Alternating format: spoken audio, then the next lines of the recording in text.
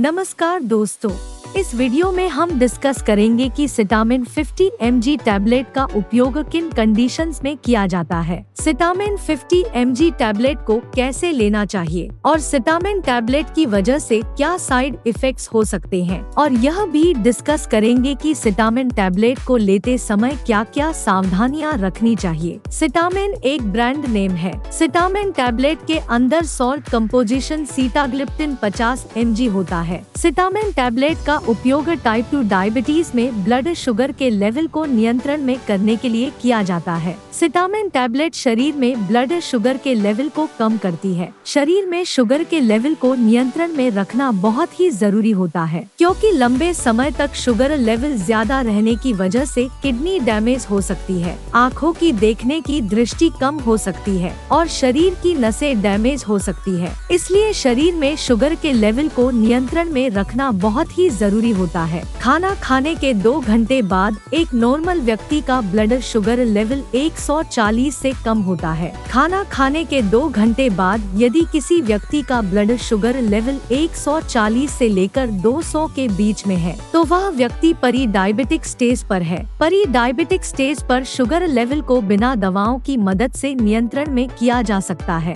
परी diabetic stage पर sugar level को नियंत्रण में करने के लिए रेगुलर एक्सरसाइज और लाइफस्टाइल व खान पान में बदलाव करके ब्लड शुगर लेवल को नियंत्रण में किया जा सकता है। यदि किसी व्यक्ति का ब्लड शुगर लेवल 200 से ज़्यादा है तो हम कह सकते हैं कि उस व्यक्ति को डायबिटीज़ की समस्या है। दोस्तों, अगर आपको वीडियो पसंद आ रहा है तो कृपया वीडियो को लाइक करना व चैनल को सब्सक्राइब करना न भूले। साइड इफेक्ट्स की बात करें तो वैसे तो ज़्यादातर व्यक्तियों में सिटामिन टैबलेट की वजह से कोई साइड इफेक्ट्स नहीं होते हैं। लेकिन कुछ परसेंट व्यक्तियों में सिटामिन टैबलेट की वजह से कुछ साइड इफेक्ट्स हो सकते हैं। जैसे जुकाम होना, खांसी होना, गले या फेफड़ों में इन्फेक्शन होना, कब्ज होना, उल्टी आना या उल्टी आने का मन होना, शरीर के जोड़ों व मांसपेशियों में दर्द होना कमर में दर्द होना और सिर दर्द होना आदि साइड इफ़ेक्ट सिटामिन टैबलेट की वजह से हो सकते हैं। इसके अलावा सिटामिन टैबलेट को शुगर कम करने की अन्य दवाओं के साथ लेने से शरीर का ब्लड शुगर लेवल बहुत ज़्यादा कम भी हो सकता है। सिटामिन टैबलेट की वजह से एलर्जिक रिएक्शन भी हो सकता है। यदि आपको सिटामिन टैबलेट को लेने के बाद सांस लेने में दिक्कत,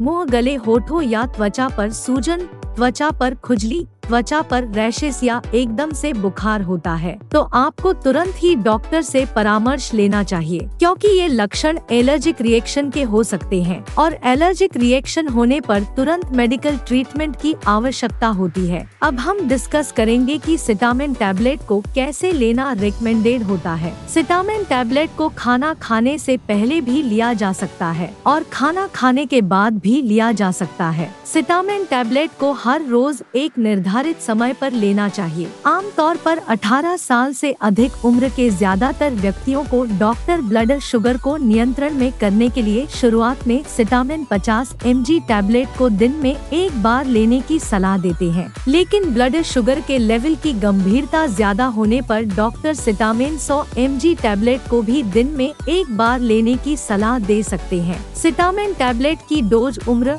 शरीर के वज़न और बीमारी की गंभीरता के आधार पर कुछ व्यक्तियों में इससे अलग भी हो सकती है। इसलिए आपको सिटामिन टैबलेट को आपके डॉक्टर द्वारा बताई गई डोज में ही लेना चाहिए। अब हम डिस्कस करेंगे कि सिटामिन टैबलेट को लेते समय क्या क्या सावधानियाँ रखनी चाहिए। शुगर को अच्छी तरह से नियंत्रण में करने के लिए आपको सिटामिन टैबलेट के साथ साथ रेगुलर एक्सरसाइज करनी चाहिए। चिंता व तनाव से बचना चाहिए। पर्याप्त मात्रा में नींद लेनी चाहिए। और यदि आपके शरीर का वज़न ज़्यादा है तो वज़न को कम करना चाहिए। टाइप वन डायबिटीज़ होने पर, कोई सर्जरी होने पर डायबिटिक कोमा होने पर और डायबिटिक कीटोसिस होने पर सिटामिन टैबलेट को लेना रिकमेंडेड नहीं होता है। ब्लड शुगर बहुत ज़्यादा कम होने से बचने के लिए आपको सिटामिन टैबलेट को लेने के बाद खाने को स्किप नहीं करना चाहिए। और आपको सिटामिन टैबलेट को लेने के बाद आपको अपने रेगुलर शेड्यूल पर खाने का सेवन करना चाहिए। प्रेग्नेंट महिलाओं में ब्लड शुगर के लेवल को नियंत्रण में करने के लिए इंसुलिन को ही सबसे सुरक्षित माना गया है। प्रेग्नेंट महिलाओं बच्चों और स्तनपान करा रही महिलाओं के लिए सिटामिन टैबलेट का सेवन करना रिकमेंडेड नहीं है। वीडियो को देखने के लिए आपका धन्यवाद। अगर आपको वीडियो पसंद आया तो प्लीज़ वीडियो को लाइक कर देना। चैनल को सब्सक्राइब कर लेना। और अगर आपका सिटामिन टैबलेट से संबंधित कोई प्रश्न है